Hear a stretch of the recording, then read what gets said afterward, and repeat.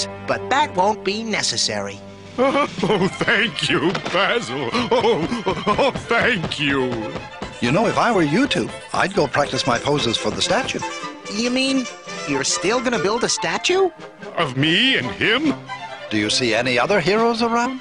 Just us. Basil, let's go. Wait! You can't leave! What about the show?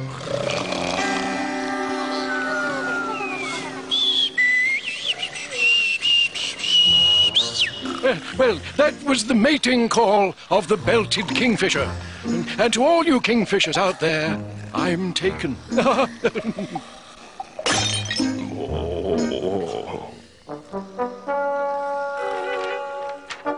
Hold the phone! This gives me an idea for another show! Memo to me. I'll call it Real Remarkable Rhinos! Wait, Murray! Please! Wait! You can't leave! What about the show? Give me another chance! I'm too young to retire! Where's my agent? Murray! Wait!